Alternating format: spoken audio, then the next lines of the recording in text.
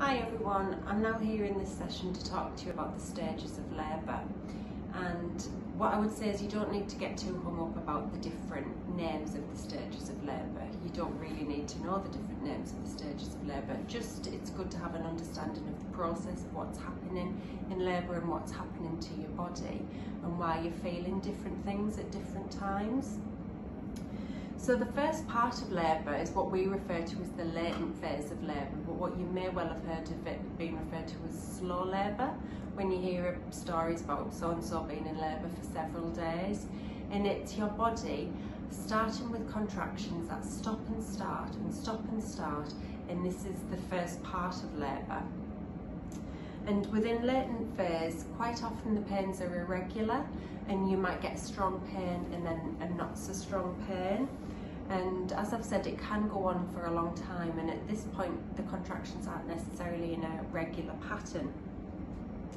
Now, um, at this point you may have had um, a show, which would be normal, and just to use the props that we've got, the latent phase of labour in labour we're talking about your cervix opening up.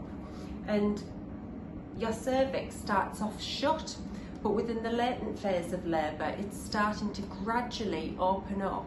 And also your cervix starts off very thick and it's starting to be pulled up. So what it's doing is the contractions are pulling up the cervix and they're opening up the cervix the next stage of labour is the first stage of labour and that's when you're four centimetres dilated or in active labour. Now on this dilatation chart, four centimetres dilated isn't all the way until here when your cervix is approximately opened up about four centimetres. But to get to this stage can take a long time and this is why we stress the importance of staying at home for as long as you possibly can because getting to here can really take a couple of days in some cases. Once you are past four centimetres dilated, usually then that's when you're having regular contractions and they would be coming every few minutes and should have been coming every few minutes lasting at least 30 40 seconds sometimes up to a minute and really they need to have been coming regular like that for about two hours before things are really starting to happen and your cervix is starting to open at a more regular pace. In the first stage of labour, it moves from being in a regular pattern into a more um, regular pattern of contractions. And when you speak to the midwives for advice over the phone, they'll ask you about the pattern of the contractions and guide you in whether they think you're at the right stage of labour to come into hospital. During this stage of labour it becomes harder to cope as well so just be mindful of that. Um, if you feel like you're able to breathe through you're possibly not in established labour or the first stage of labour but as the pains are increasing in strength that's a sign that things are starting to happen. Now your body has the contractions which then helps the cervix to dilate all the way through these different um, phases of the cervix until you get to be 10 centimetres. So here for example is 6 centimetres, here is 8 centimetres and when you are fully dilated that's when all of the cervix has disappeared and there's no space uh, and there's nothing holding your baby back. To get from 4 centimetres all the way to 10 centimetres dilated actually takes on average about 12 hours. So it's a really long time and it's a really long time for you and your birth partner to be in the hospital environment.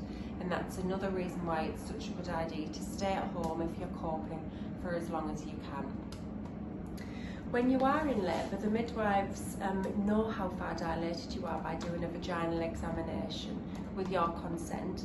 And that's where we put two fingers into your vagina to find the cervix and we can feel how open the cervix is how thin the cervix is, but also, I don't know if you can see, but these funny little lines and triangles are to mimic the markings on your baby's head, and this helps us to define the position of your baby.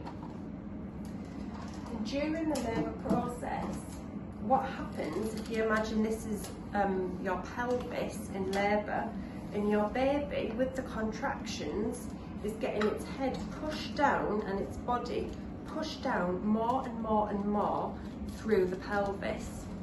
And the contractions each time pushing, pushing, pushing, and then also pulling, pulling, pulling up your cervix and opening up your cervix to enable your baby to pass through the pelvis and to be born.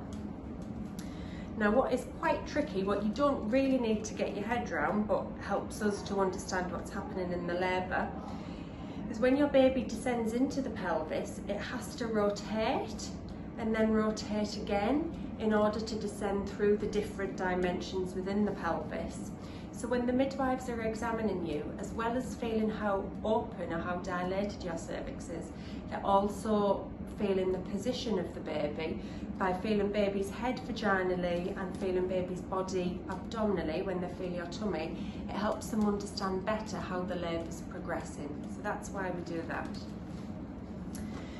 Now, towards the end